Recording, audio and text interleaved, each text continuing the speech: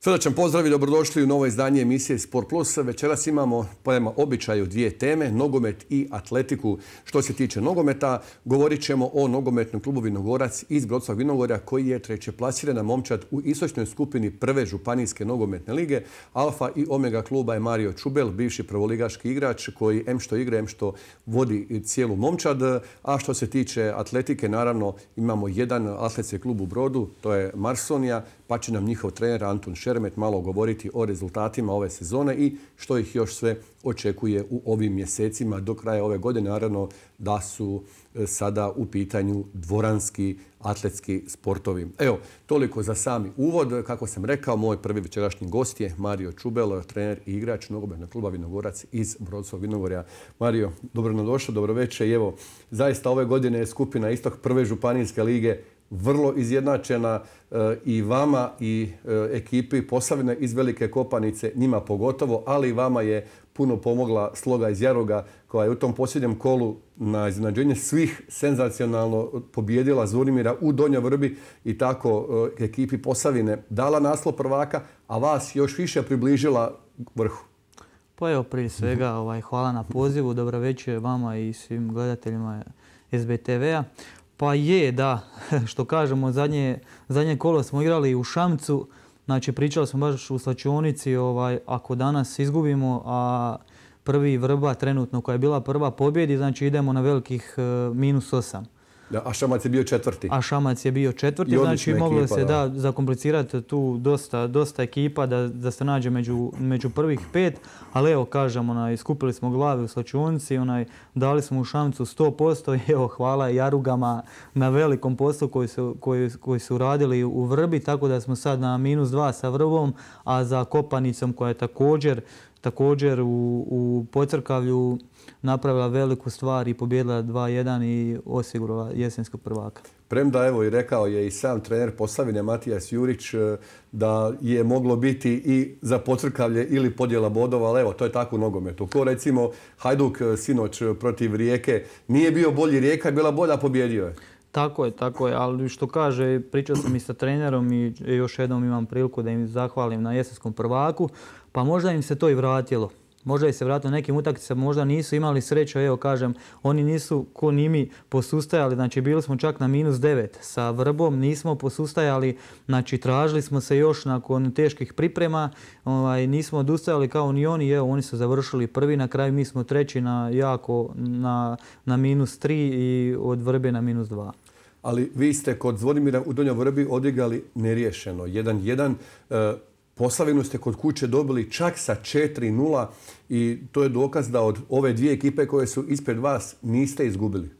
Pa nismo, da, prvo bi uzeo ovaj osvrt na kopanicu kući. Znači, kod kuće stvarno e, pravimo dobre rezultate. Znači, 4-0 smo pobjedili kopanicu. Pa neću reći da su imali neke izrazite šanse, nisu. Znači, nepoznanica smo svima. Znači ima dosta mladih igrača onaj, koji smo, naš 4-5 stariji koji ih vodimo, ovaj, a u gostima nam je problem evo koji u Vrbi, znači vodili smo 1-0, vodili smo 1-0, a mogli, otići, onaj, mogli su oni otići na 2-0, prije toga smo mogli mi realizirati neke stvari, nismo, tako da evo, kažem, dobro smo prošli te dvije utakmice, znamo s čim imamo posla za drugi dio. Ipak e, pobjedili ste kod kuće Posavinu iz Velike Kopanice, međutim e, nekako je opći dojam da je ipak Vinogorac odigrao bolje u Slavonskom šamcu kod graničara. Je li to pa vaša najbolja utakmica ove jeseni? Pa je, rekao bi da je to naša najbolja utakmica ove jeseni. Zašto? Zato što većina ekipa posustaje čim, čim su zadnja dva kola do kraja, možda se nekom ne da, možda neki imaju problem sa ozljedama, manjka igrača. Ne čekaju zimski tako odmor. Je, tako je, čekaju zimski odmor. A onaj, ja mogu slobodno reći da nas, nas je bilo 23-24 igrača koja smo vrtli, uvijek je, nam je neko falio, ali evo išli smo i tamo u, u Šamac sa 18 igrača na, na papiru, još smo imali dvojicu, trojicu na tribinama. Tako da je to velika stvar. A zašto nam je najbolja utakmica? Zato što smo se mučili sa u gostima jer imamo puno mladih igrača i nikako taj rezultat da ispliva da pokažemo ono pravo lice. I evo kažem, kad su ti dečki pokazali zube u gostima, napravili smo veliku stvar protiv jako dobrog protivnika. E, dobili ste kod kuće jednu jako dobru slogu iz Vrpolja koja ove godine igra stvarno dobro, koja se pojačala sredinom Burazinom iz Đakova i dobro su posloženi. Također je bilo kući 4-0. Dobili ste i stare Perkoce i od sedam utakmica kod kuće svih sedam pobjeda zaista tu dominirate. Imali ste šest u gostima, tako da vas na proljeće očekuje jedna utakmica više u gostima. Međutim, e, treba reći da ste izgubili u Podvinju susjedski derbi nakon puno godina Vinogorac i Podvinje. To je nekad bio zaista lijepi derbi i sada je bio i u Starom Topolju, dok ste još bod osim u Donjoj Vrbi uzeli u Gonjoj Bebrini. Ovo ostalo ste sve pobjedili, prema tome dva remija i dva poraza, ovo drugo sve pobjede. Tako je, pa je, kažem, kući imamo, kući imamo stvarno sve pobjede i dobri smo, a to je većinom razlog toga tih mladih igrača. Znači kući su opušteni, uživaju, igraju nogometu, a čim prođemo dalje iz Vinogorja, neću reći da se uplaše, to je jednostavno nedostatak seniorskog nogometa, jer je ovo prva godina i zato mislim da radimo veliku stvar. Lukas Kovačević je stoper, međutim on je sa sedam golova uz Mateja Škorića vaš najbolji strijelac. Pa tako, evo, mogu slobodno njih dvojicu i pohvaliti onaj najviše, zato što stvarno daju srce na terenu, možda nekad i malo previše, ali evo da Lukasa pohvalim, onaj, njegov skok zabio je stvarno pet golova onaj, na korneru, znači jako bitnih golova, zabio je dva gola iz penala, oni, oni Škora se dogovaraju ko će pucati penale, ko se kako osjeća za vrijeme utakmice, tako da, a Škora nam je donio naprijed, znači kad nas ne ide iza, da ne možemo loptu iznijeti, stvarno zadrži svaku loptu gore, zabio je dosta bitnih golova, požrtvovane, trči 90 minuta, ako igra 90 minuta, tako da ono svaka im čast oba dvojici. Ali ono što je najzanimljivije da e, vi nikoga od igrača ne plaćate. I to je ono zaista zanimljivo i možda i to je bit vašeg zajedništva što imate tu jednu homogenu ekipu. Vi ste rekli da e, ko želi, ako netko želi ići u neki klub gdje dobija nekakav novac ozbiljniji ili nešto, slobodno može ići. Tako je, evo, to, to bi pohvalio da, da smo stvarno e, jedna velika zajednica, baš radi tih stvari, jer sve što radimo i kući i za vrijeme utakmice i pripremu za utakmicu radimo sve zajedno. Znači nema da sam ja tu glavni i da nešto odlučujem, svi zajedno ćemo odlučiti.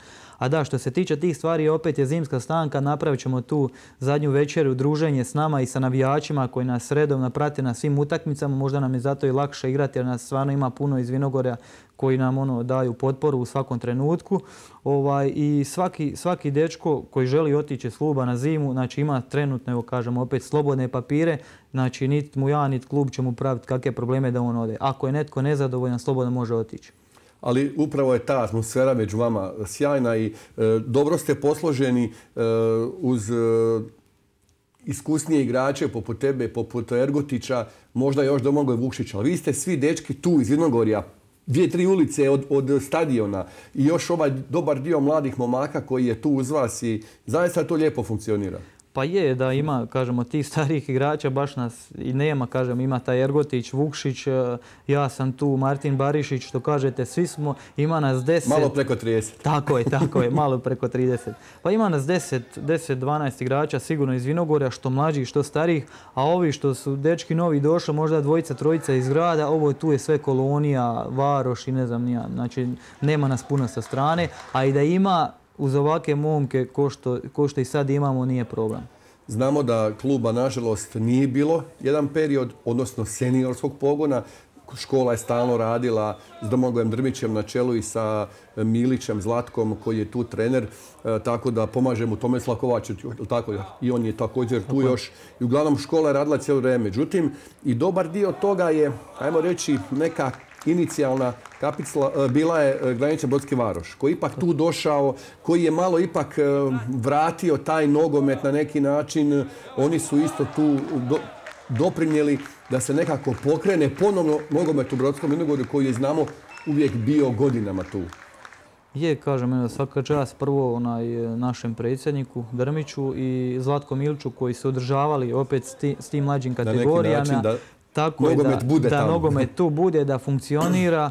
Ovaj, I to ide i dan danas dobro i ima sve više i više djece jer Zlatko radi stvarno pravu stvar sa djecom. Ovaj, a Varoš je da održao što se tiče seniorskog dijela, ljudi su malo i navikli da u Vinogor ima nogomet jer su oni igrali tamo i četvrtu ligu mislim, dok je Stipo Gavranić igrao. Tako, je, ovaj, tako da hvala jer ostali, ostavili su dosta i dobrih uvjeta i svega i onda kažem kad smo mi došli onda smo to preuzeli pa radili po svome što se kaže. I tamo su oni svoje igalište završili i nekako ispalo je... Tako da taman, taman kad smo mi dolazili, kad smo odlučili da ćemo doći njihov, njihov teren i, i stvari sa strane što su se pravile, to je napravljeno sve kako spada u, u roku. Taman na ljeto smo mogli ući u klub i nastaviti s ovim dobrim radovima. I bile su uvijek dobre utakmice vas i Varoša. Pamtim ono kad si ti sa centra zabio gol. Tada je sva tri gola Vinogorcu zabio Martin Krpana. Sad Tako. je kod vas. Tako je, da, pa evo kažem onaj, ma, e, više manje igrače, rekao bih hajde ne vrbujem da neko dođe. Evo Martin Krpan nam se sam javio i ponudio se, znači prepoznao je dečko rad, znači i on sa svojih pet golova je iza Lukasa i sa Škorićima i to dosta odlučuje golova, evo na primjer u Šamcu je ušao s klupe, znači odmah prvi dodir s loptom, ovaj, što mu kaže first touch, ovaj, mu je bio idealan poput Šukera i odmah je zabio za 2-1 i to su velika tri boda, a to nije samo jedna utakmica, još je odlučio dosta utakmica. E, mnogi ističu kako, evo, pratio sam neke utakmice vaše lige i tako snimam e, poslije izjave trenera, mnogi ističu vas da ste ekipa koja najviše od svih trenira u ligi. Pa je, evo, kažem, mogu slobodno reći da nas... nas Pa da, čak i prije podne. i prije podne, da kažem, evo, imam dosta toga vremena koliko mi žena dopusti. I Prinova. Tako i Prinovo je sad tu Od dva mjeseca. mjeseca. Tako je. I zato kažem hvala mojoj ženi što mogu sve stići na tome. Ovaj, e, pa dosta, dosta nas ima prije podne, a najmanji broj što nas bude to je 14. Znači bude nas čak neka 22, troje na treningu i zato, zato kažem zašto nas svi hvale i to se vidi. Znači imamo svi snage, kogod uđe sa klupe, kogod sedeć, neko je možda na tribini pa bude odmah sljedeći u prvom sastavu. Jer kažem, treba to sve iskalkulirati jer nas ima previše. Ali zna Mario pouzdano da čak i neki igrači iz okolnih klubova koji ne igraju za vas dođu kod vas na treninge. Tako je, kažem, evo, I čak se- iz većeg ranga. Tako je, tako je, bavim se, kažem, tim individualnim radom i ovi dečki čak iz neke što igraju sad po Zagrebu, kad dođu na stanku, jave se, radimo individualno, to mi je drago zbog tih dečki što oni imaju volju. Ako oni imaju toliko volju, onda imam i ja volju da im pokažem to znanje koje sam naslijedio ovih deseta godina što igram u Zagrebu prve i druge lige. E, igalište u Brodskoj Vinogorju e, može biti bolje, to znamo. E, pomoćni teren je problem, je li tako? Pomoćni teren je problem zato što svi treniramo više manje na, na, na Glavnom. terenu, pa nam je to problem. Ali kažem, mislim da ćemo do ljeta i s ljetom i to pitanje riješiti jer nam je grad isto obećao neke stvari što se tiče infrastrukture i, i terena, tako da se nadamo boljem. Ali evo, lijepo je kada e, vam priđe čovjek poput jednog gospodina koji upravo trenirka koja je na vama, koji je ponudio ja bi vam kupio trenirke. Očito je taj gospodin prepoznao nešto kod vas i evo, odlučio je vam pokloniti trenirke. Pa da, evo kažem... Stvarno ga treba pohvaliti. Je, pohvalio bi ovaj gospodina Vukovića koji nam je izašao u susret jer kažem ovo su nam trenerke baš za, za treniranje, znači jer je sad ovo vrijeme zimsko i hladno je i za dečke koji su na klupi i za prije utakmice za zagrijavanje i kažem evo što kažete sam, onaj gospodin Vuković je došao, Boris Vuković i prepoznao je taj naš rad, prepoznao je dobrotu u tom radu da nema tu iskvarenosti i pitao šta nam treba, evo u suglasnosti sa dečkima mi smo izabrali trenerke i hvala mu na tome. Lijepo, pa ima još dobrih ljudi koji, evo, Tako je. vole sport i žele malo, evo, svoj dio sredstava uložiti. Pa je, kažem, e, iskreno, bez ljudi u Vinogorju koji stvarno daju doprinos na svakoj utakmici i ostaju poslije i ljudi daju svoj novac jer inače bez tog novca koji nam ljudi pružaju poslije utakmice i za vrijeme utakmice ne bi mogli funkcionirati. Treba i platiti suce, utakmice, troškovi i sve to. Tako je, kažem, onaj, mi težimo tome da ugostimo ekipu i prije utakmice i poslije utakmice i mi i oni da zajedno jedemo i što kažete treba platiti suce. Tako da kažem, evo, s ljudima u Vinogorju s neka dva, tri potencijalna sponzora, evo, uspijevamo za sad to realizirati. Prvi cilj je jedinstvena prva županijska nogometna liga koja će se formirati od sljedeće sezone. Mislim da što se toga dijela tiče da ste tu, a možda ako vam se ukaže prilika zašto ne biti prvi, pa da li možda onaj drugi cilj međužupanijska liga? Pa tako ja kažem opet primarni cilj nam je bio biti među tih prvi pet ekipa. Ovaj, jer kažem šteta bi bilo znači opet godinu dana da prospemo, da ispadnemo, tek smo ušli u tu prvu županijsku pa da sad ispadnemo, ali evo kažem onaj, mukotrpno smo radili, sad smo među ta prva tri, znači jesenski dio je, cilj je ostvaren, a ako nam se pruži prilika, nadam se da ćemo uzeti, nećemo ispuštati. E, Liga je zaista, svi kažu, jača nego prošle godine. Tu ste došli vi kao novi, ali ste jako dobri. Nisu loši niti Gundinci. E, neke su se ekipe pojačale. Možda su samo Jaruge slabije nego prošle sezone. Oni su malo oslabljeni, međutim, e, Vrpolje dobro, Kopanica, Prvi su naravno Zvonimir Donja Vrba i bio i prošle godine se borio s Budenko za prvo mjesto. E, Pocrkavlje da im se nije ozlijedio baš kod vas nesretni slučaj Mate Plivalić, možda bi i oni bili gore u vrhu. Staro Topolje također dobro. Evo vi ste u Podvinju izgubili, Podvinje je dobro, također imaju jako dobrih utakmice. Tako da je liga zaista kvalitetna, izjednačena, puno, puno dobrih ekipa. I mnogi kažu da je zapravo skupina jača. Mislim da nije, da ste tu sad negdje. Pa tu smo, da, negdje, baš sam, onaj, prije nego što smo ulazili u, u ovu sezonu, neko je govorio da je zapad jači, ali ne znam, ne, teško je sad govoriti istog zapada, to je uvijek podijeljeno, ali što se naše lige tiče stvarno je ova liga jaka i izjednačena i dosta, kao što ste naveli pa dosta ekipa je u Šamcu imaju 3-4 igrača. Da, Šamac ovaj, sam zaboravio, pardon. Koji je pojačan sa trećaligaškim. Isprika ljudima iz Šamca. da, koji, koji su pojačani sa trećaligaškim igračima. Uh, Dino Burazin. Galić je igrao prvu ligu za Cibaliju. Tako je, tako je. Galić koji ima prvu, prvu ligu iza sebe, drugu ligu iza sebe, igra u Rudešu isto, imamo isti klub iza sebe. Tako da kažemo, i to Vrpolje koje je pojačano sa dva, tri igrača iz treće lige, o Plivaliću ne moramo dani govoriti, suvišno je, kažem opet, ekipa je možda trebala malo više dati za njega. Sad kad njega nema, ne samo kad on igra da on vuče ekipu, evo kažem, samo da, da napomenem tu situaciju jer e, znam koliko pliva vrijedi po crkavlju, ovaj, jer trebali su se malo dečki više zauzeti za njega da, da isplivaju taj zaostatak za kojim zaostaju. Ali evo, taj start je zaista bio nesretan. E, pa pred kup utakmica prije prvenstva. Tako je, da, i žao mi kažem što su nam ljudi opet izašli u susret i desi se takva situacija, ali opet kažem, start je bio banalan, on, sudac nije ni dosvirao faul, evo kažem, ono, stvarno ne bih to karakterizirao kao nešto namjerno ili, ne daj Bože u tom smislu. Samo da se Plivelić oporavi da od proljeća zaigra za svoje pocrkavlje, jer Zvonimir Šarić je njihov igrač sa tri gola najbolji strijelac. I tu se vidi koliko im on nedostaje. Pa je, vidi se da, da njihove utakmice završavaju sa jako malo golova, da im fali jako u napadu, jer to Križanović, koliko je dobar igrač, ne može sam iznijeti. I Rajković, Alen. Tako, i Rajković. Koji, on, njima baš treba isto iz, malo pojačanja, što se kaže, da iznesu tu još Željko Šušovski dobro tamo radi sve, ali jednostavno, evo. pa kažem, da, navikli su, navikli su na, na Plivelića kojeg trenutno nema, treba tražiti, kažem, druga rješenja.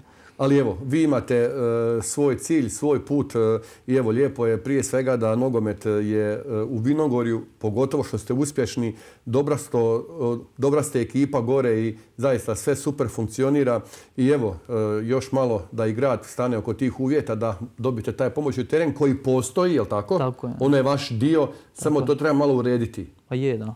Pa da, što se tiče uvjeta prostora, imamo svega. Sad kažem, to treba urediti taj pomoćni teren, što nije, mislim, velika stvar, da sačuvamo taj glavni teren koji bi nam stvarno jako dobro došao za igru.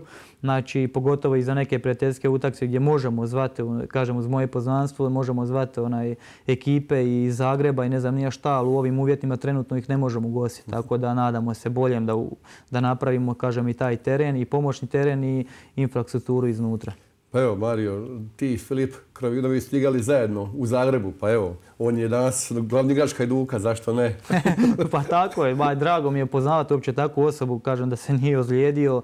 Filip bi danas igrao za reprezentaciju, tamo je dobio poziv i od nas su mu pukli prednji križ. E, evo, izašli ste u susret i Marsoni, sutra e, mlađi pionir, stariji pionir poti Cibalije kup igraju na vašem igalištu. Pa tako je, drago mi je što kažem, teren nije baš u bajnom stanju, ali drago mi je kad možemo izaći nekom susretu, pogotovo kao što je to ekipa Marsonija. Evo Igor Đaković vas je zamolio zašto ne ljudima Tako, da, nije to moje, kažem, u suglasnosti sa... Da, radovi su na tamo i... Tako je, radovi su tamo, u suglasnosti sa predsjednikom Drmićem i sa Zlatkom Ilićem. Mi smo u dogovoru bili i oni su rekli da nema problema da se teren može ustupiti. Ali zaista imate lijepu suradnju i s Podvinjem, i s Budeinkom, i s Varošom, i sa svim ovim klubovima, Bukovljem pogotovo. Tako je, da. Pa je, da, kažem evo s Budeinkom dok je Stipo Gavranč bio tu, kažem stvarno smo imali dobru suradnju, igrali smo po tri, četiri puta sa Bukovljem, sa Petrovićem i sa igračima tamo, znači nema nikakvih problema i surađujemo i, dobro i drago mi kažem što smo tu sa Podvinjem sad u, u ligi pa možemo i s njima, kažem i imamo dobar kontakt i ljudi su nas ugostili i pričamo, tako da evo. Pa i ovo s Pocrkavljem e, ste trebala utakmica kupa biti kod njih, a vi ste zamolili budući je bila gospa, znamo da je Tako je. Veliki crkveni god kod vas u Vinogorju, pa ste ih zamolili da bude Pa kod vas. Je, da, zamolili smo, znači nije tu bilo ni nagovore, ništa, znači samo smo pitali i predsjednik njihov je odmah odobrio, da, Orešković, da to nema problema, izašli su nam susreti, kažem, žao mi je da se desilo to što se desilo, tako da Sa evo. Plivelićem, eto, Tako nažalost, je, da. to- Ali evo, Bože moj, samo nek se Matej vrati i da je. proljeća igra za svoje pocrkavlje. I evo, ništa. Hvala ti lijepo da smo malo popričali o ovoj ligi i svemu zaista je bilo zanimljivo. Sad mislim da su dečki na odmoru, jel tako? Tako je, tako je. Još ta zasluženi subota? Još? Su- subota još i zaslužena, zasluženi to je onako, treće Ma- poluvrijeme Ma subota. tako je, to je u- za uživanje. Bio je evo e, Mario Čubel, Alfa i Omega, nogometno kluba Vinogorac, Brodsko Vinogorje koji zaista radi lijepe stvari, e, ne samo ove već više godina unazad, e, tako da evo svakako nam se i taj dio grada ponovno vratio na nogometnu kartu Slavonskog broda. Toliko što se tiče nogometa, ali to nije sve, kako kažu onoj reklami, malo ćemo reklame pustiti, a onda nakon toga ćemo dati rezime, odnosno pregled predposljednje kola u trećoj Hrvatskoj nogometnoj ligi Istok i onda se vraćamo ponovo u emisiju, govorit ćemo o atletskom klubu Marsonija.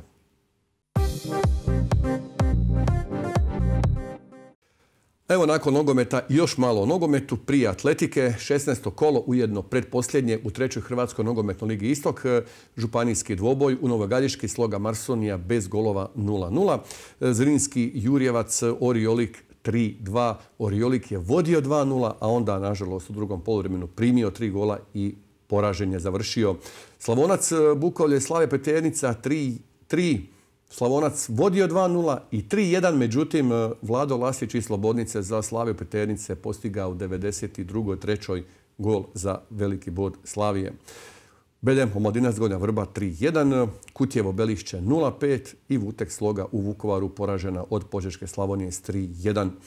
Vukovar je vodeći 41 bod, tri boda iza njega Belišće i Zrinski Jurjevac. Te tri ekipe su se dobrano odvojile od ostatka. Naime, četvrto plasirana Slavonija iz Požege ima 29 bodova, prema tome već zaostaje za Zrinskim i Belišćem 9 bodova, a još više za Vukovarom i to su tri ekipe koje vode mrtvu trku za naslovom prvaka.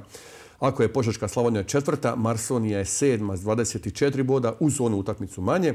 E, Kutjevo i Omladinac Gornja Vrba su 8. i 9. sa 20 bodova, Novogradeška sloga je 10. sa 19, Oriolik je 14. sa 17, Slave Peternica je 15. sa 14, a Slavonac Bukovlje ostao posljednji sa 11 bodova, tri manje iza Slavije. Još sljedeći vikend imamo dva županijska dvoboja Naime, Marsonija će igrati na stadionu Stanko Vlanju Dida sa Bukovljem, odnosno sa Slavoncem, dok Oriolik u Oriocu dočekuje Novogadišku slogu. A tjedan poslije će Marsonija igrati onu odgođenu utakmicu u Županji kod Ganičara. A nakon nogometa mi ćemo se posvetiti malo atletici. Naime, atletski klub Marsonija, evo, završio je što se tiče vanjskih terena sezonu i sada su proš- prešli u dvoranu. Naime, ovoga vikenda u Osijeku je održano prvo kolo od četiri kola koja će biti na dvoranskom e, atletskom prvenstvu Slavonije i Baranje za mlađe uzraste, pa ćemo o ovoj sezoni i onome što klub očekuje do kraja ove godine govoriti sa njihovim trenerom Antunom Šeremetom. Dobrodošli na Mante i evo, e, zaista kod vas tijekom cijele godine, pa svaki vikend je nešto, naticanje. Evo, hvala lijepo na pozivu, pozdrav svima. Pa mogu reći da je ova godina stvarno ovaj, e, pozitivna što se tiče našeg kluba. Odmah u početku moram reći da je ove godine bio i priljev atletičara mladih, nešto i starijih. Tako što se tiče brojnosti, mislim da je ova godina ovaj, nam bolja nego ostale. E, također, unatoč ovih epidemioloških stvari dana, e, imali smo jako puno natjecanja. Znači, kroz godinu mi smo imali 45 natjecanja. Znači, još do kraja ovo što se sp- spomenuo Josipe, znači dvoransku ligu i u Đakovu ćemo imati nastup na božićnoj njihovoj trci. Biće gotovo 50, što znači da godina ima 52 tjedna, da imamo gotovo svaki tjedan u prosjeku kroz godinu neko natjecanje.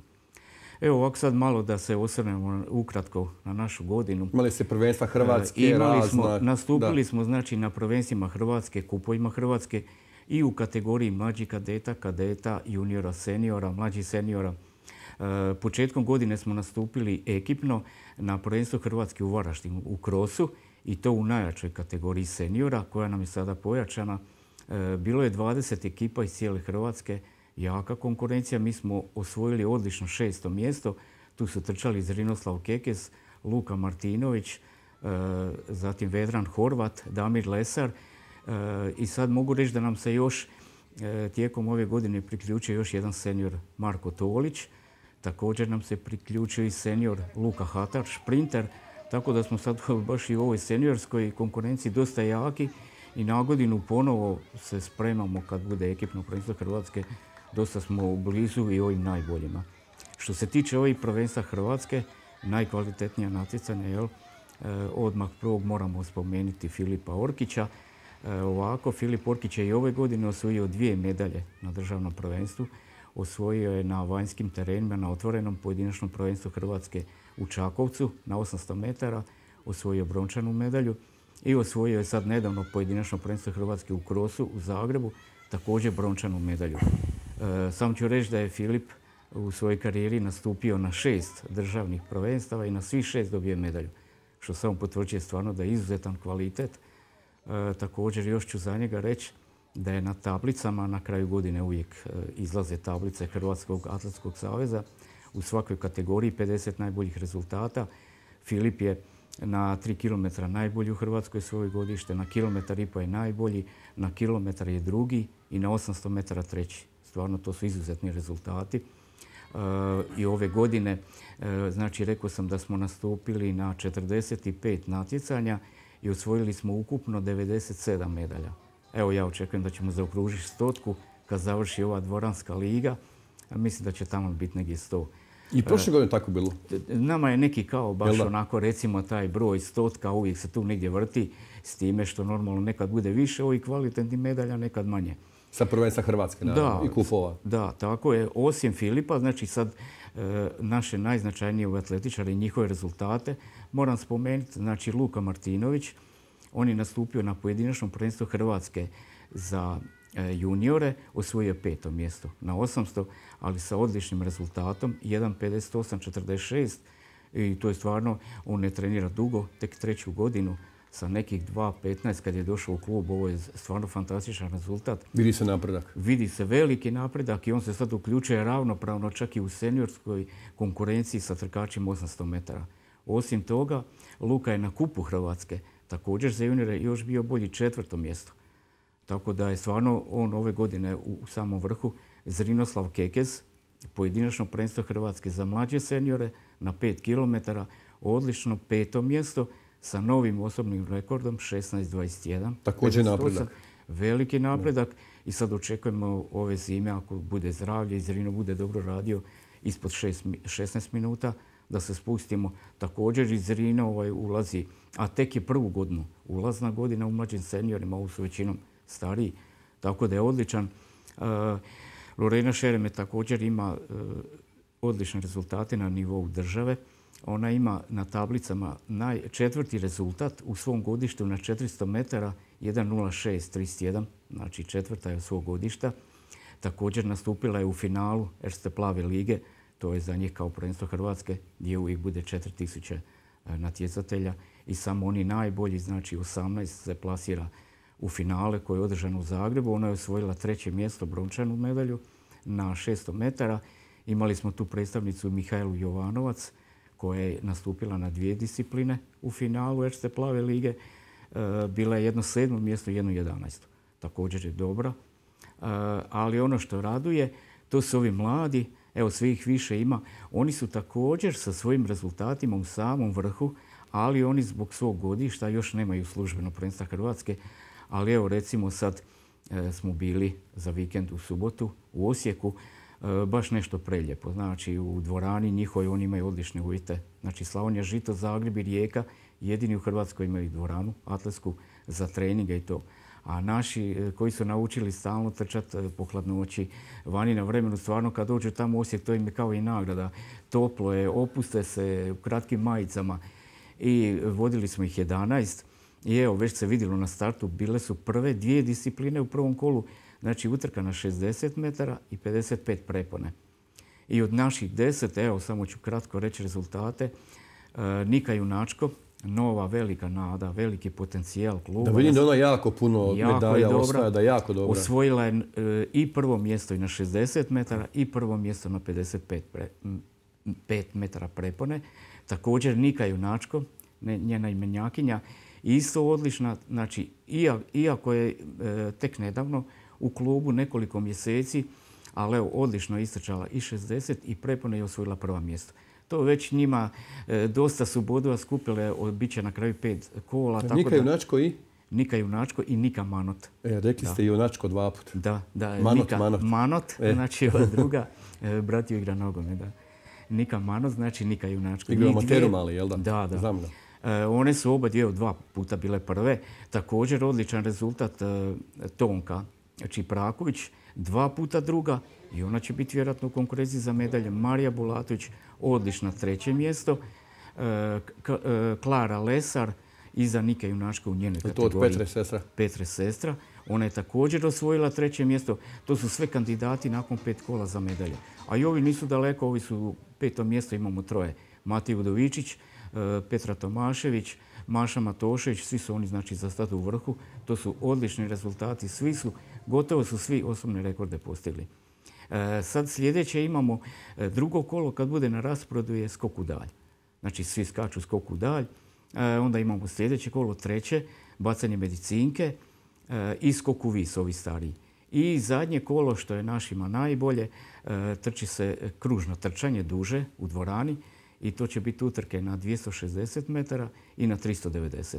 I nakon tog zadnjeg kola bit će podjela medalja, pa nadam se da će biti ovaj naših dosta tu uspješno. I godinu završavate 31.12. Ja mislim novogodišnja utrka u Osijeku, je tako? Da, svakako, to je po tradiciji uvijek. Ako ne bude korone, zadnje dvije godine već nije bilo. A mi se nadamo ove godine da će biti, inače mi uvijek Ipak idemo. vi ste Ivani i sve idemo to malo. i navikli smo i djeca vole. To je ono nova godina. E, start je točno u 12 sati, svi kreću. Znači od ove djece najmanje do seniora, svi kreću u 12 sati, bude jako zanimljivo. E, ovi trče duže, ovi trče kraće. Tako da ja se nadam da neće ovaj korona biti zapreka da nastupimo ove godine. Ali kad su mazatori organizirali njihove događaje također gdje su bili mlađi uzrasti, vi ste se pojavljivali i dolazili ste, jel tako? Da, da, redovno na svakoj trci naši. E, jel šta je stvar je, e, rekao sam već na početku, da ovi mlađi uzrasti, znači ispod mlađih kadeta, oni nemaju državno natjecanja a njih se mora uključiti što više u natjecanje, tako da oni obavezno ide ovo u brodu i ovo recimo je jako dobro zamišljeno. Evo sada je i ova dvoranska liga gdje se djeca stvarno, i to je dobro, što oni idu u različite discipline, razvija se njihova motorika, sposobnosti. Znači tu se vidi da oni imaju kratko trčanje, prepone gdje, su, gdje je bitna tehnika, eksplozivnost, znači ovaj, snaga, bacaju medicinku i to je jako dobro za mlađi uzrast da se oni razvijaju, a i samo natjecanje, da djeca nemaju samo treninge, nego da idu na natjecanje i na kraju krajeva i medalje. I onda trener stvarno uživa kad dođe ovaj, na natjecanje, kad vidi taj rad, ovaj, gleda i kako oni to sve dobro izvode. I jedino što je bilo sad u dvorani, što nam nije bilo onako lijepo, naša Mihajla Jovanovac, e, koja je u biti najkvalitetnija od njih sviju, e, na utrci 55 prepone zapela je za preponu pala, dobila je na kraju gips Evo, to, to je ovako malo. Inače je bilo stvarno, sve bi bilo idealno. Ali nadamo se da će biti brzo poravak. Nije izla tako nešto opasno. Tako da se nadam da će Mihajla se brzo vratiti.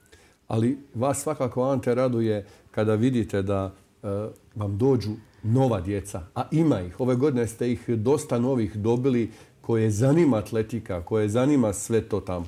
Da, je, to je najveći e, radost stvarno treneru i nama u klubu. Kad vidimo da mladi dolaze, e, bez obzira to je i u drugim sportovima, znači djeca dođu, upišu se, neki od njih je odustanu, ali je nama bitno da što više, jer djeca nisu ni svjesna mnoga koji imaju oni u sebi potencijal. I ja kažem, sigurno će kroz rad i ako, su, ako imaju volju, nešto talenta, oni moraju napredovati. E sad neko napreduje više, neko manje, ali svakako to lijepo vidjeti. E, roditelji koji nisu često recimo na stadionu, koji dovedu možda roditelje rijeđe, neki dolaze češće, e, i tek kad vide malo kad dijete zareda treninge i provede jedno vrijeme i bude, ne znam, mjesec, dva, tri, još na neka natjecanja, onda u stvari vide kako je to lijepo, kako se djeca druže, da je to radost, e, igra, upoznavanje, kako se oni međusobno slažu, to je stvarno nešto predivno gledati. Pogotovo, Ante, e, što, evo, znamo da je atletika bazni sport i što oni, e, ako žele nastaviti rukomet, košarka, bilo koji drugi sport, atletika je zaista jako dobra zbog motorike, zbog puno, puno drugih stvari koje će im kasnije pomoći u životu u nekom drugom sportu. Ma sigurno. Ako se žele baviti sportom, To je sigurno. Prvo mi recimo evo u atletici, znači ja sam napomenuo to što u Durani radimo. Znači djeca taka mala, oni imaju već pet disciplina, odnosno ovi starih šest. Znači ne rade djeca tu samo trčanje. A oni da bi išli prepone, to je puno kompliciranije. Znači moraš imati brzinu, moraš imati snagu, treba tu preponu preskočiti, treba imati tehniku i znači bacanja razna e, prilagođena djeci. Znači djeca dok su mala bacaju vortex, bacaju malu kuglu, e, evo tu medicinku, to je znači kasnije onda prelaze na koplja, ne znam i to. A naravno i za sve druge sportove, kad djeca steknu tu bazu u atletici sa tim pokretima, ima i snagu i koordinaciju, brzinu, eksplozivnost, to je za svaki sport potrebno. I to samo je plus, znači djeca ima dosta koji su otišli iz našeg kluba i onda je meni drago. Ja pratim tu djecu, e, ne znam, Edita Povoljac i ovako neko kad ode u drugi bilo koji sport, jel, Tomislav Matijević. Sva ta djeca koja su bila u našem klubu promijene sport i to se vidi onda da je to njima velika pomoć i da su ta djeca onda uspješna. Malo prije smo pustili kadrove sa vašeg atletskog mitinga kojeg imate uvijek. Naravno, on će održavati se i dalje da. To nije sporno. Evo, svakako, ove godine je bio 11. atletski miting, znači 11 godina zaredom. Naravno, to je nama jedno od stvarno od vrlo važnih stvari. Tokom godine, na godinu već sad pripreme polako radimo za sljedeći. E, I ove godine smo bili uspješni jer tu smo domaćini i onda stvarno nastojimo što više djece uključiti. Barem uvjete imate sad. Mi smo, da, imamo stazu Tartan, iako imamo običanja da će doći na red i naša staza, da će se obnoviti to bi stvarno bilo Ili je već malo dobro. propala, jel? Pozitivno, da, je. E, vijek neki atletske staze, odnosno tartana je 10 godina. A već ima sad? Ovaj je na stadionu Stanko Vlanić Dide, to je nekih 12 godina, 13. I sad to polako ima već rupa, ima pokidano i to. Ali evo, imamo neke naznake od grada i sve. Mi smo zahvalni gradu što nam je i ovu stazu napravio.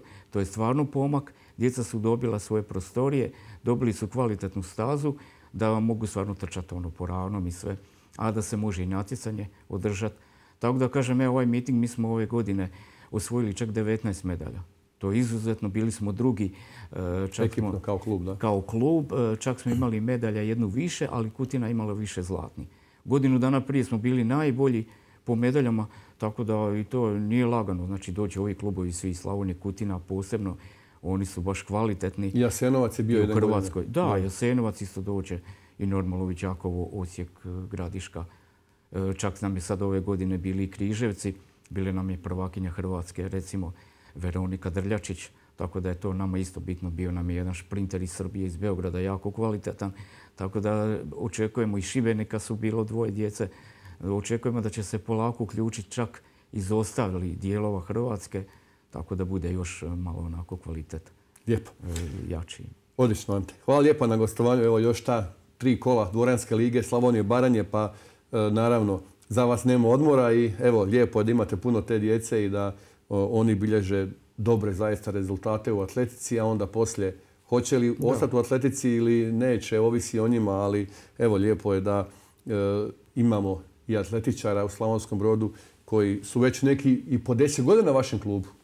Da, da, da. da. Ima, Ima ovi koji su, bili, koji su bili vrhunski atletičari. Znači Ivana Kovačević, Paula Konopka, Hilda Heller, Kristijan Jamer, svi po kriteriju Hrvatskog olimpijskog odbora e, vrhunski atletičari. I normalno to je nama i priznanje u klubu. Nije lagano u atletici dobiti status vrhunskog atletičara. I evo sada ove medalje, samo ću reći što smo osvojili 97, njih je osvojilo 24 naša atletičara.